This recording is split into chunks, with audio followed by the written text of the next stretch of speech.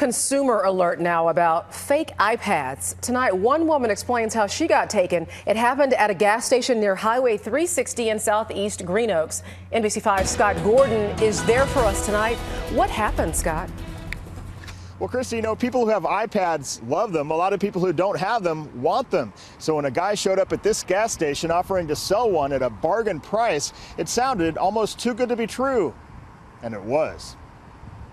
We're actually at pump nine.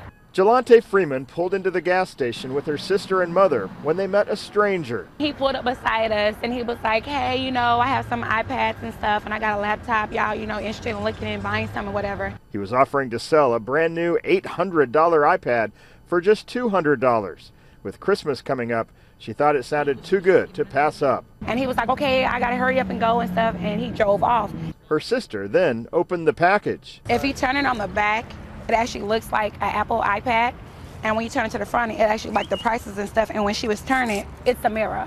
That's right. It's a mirror about the size of an iPad wrapped up to look like one. That's messed up. That's so wrong. Like I would never do anybody like that. Get a job. I just started cussing. I was I was upset. Like anybody would be upset if you just found out you got scammed by somebody. You know what I'm saying? You just lost two hundred dollars. So I'm like, oh my gosh, I feel so stupid. Like I just basically got robbed. She says she's learned her lesson. Don't buy nothing on the streets from nobody again.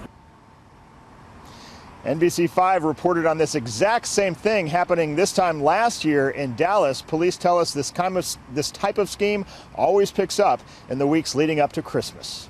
Reporting live in Arlington, Scott Gordon, NBC5. All right, thanks, Scott. We are still